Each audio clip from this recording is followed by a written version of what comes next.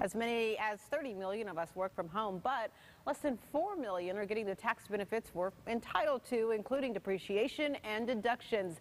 If that includes you, maybe someone you know, here with what you need to know is Shari. Oh, Shari, we've heard of depreciation, but uh, we thought of that for commercial properties. Kind of elaborate on that for us. Well, that's because business owners are allowed to depreciate the value that their business assets lose over time due to normal wear and tear or obsolescence. And real estate, we know, is essentially dirt with business assets, which we call buildings, attached to it. So commercial property owners are allowed to depreciate the value of those buildings over 39 years. What most people don't realize, like you said, though, Holony, is if you have a home office, the same rules apply to you. So roughly speaking, you would take the value of your home, multiply it by the percentage that's occupied by your home office, and that's the amount that you can actually depreciate. So we're talking about big dollars. What about deductions for home offices? How does that work? Sure. Well, in addition to depreciating the actual full office itself, you're allowed to deduct two categories of expenses. So direct expenses are 100% attributable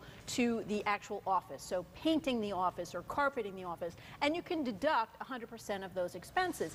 Indirect expenses are those that are attributable to the whole house. So your utilities, your security system, your insurance, you're allowed to deduct the portion that are attributable to your uh, to your home office. Now there was a rule to simplify that if you didn't want to keep all those records that allowed you to just take $5 a square foot up to 300 feet, but then you're not allowed to take depreciation, and a lot of people have Sure. bigger home offices, so that doesn't really work for a lot Clay, of uh, people. correct me if I'm wrong, claiming an office, does that raise a red flag with the IRS? You know, not anymore because home offices have become so normal common, and, and yeah. virtual work. The thing is, you really need to follow the rules. So, generally speaking, that office needs to be clearly separate and distinguished from the rest of your living space. It needs to be used exclusively and regularly for business purposes, and it needs to be the primary place where you're administering and managing your business. So, your bookkeeping, your billing, your scheduling, your ordering. You can't be having a bus- another business location a couple miles away and just work from home occasionally. And if you're an employee, the home office needs to be for your employer's